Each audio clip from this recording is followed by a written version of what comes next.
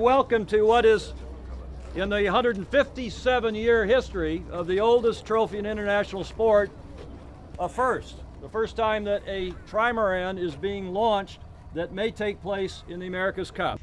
We hereby proudly commission the new BMW Oracle Racing 90.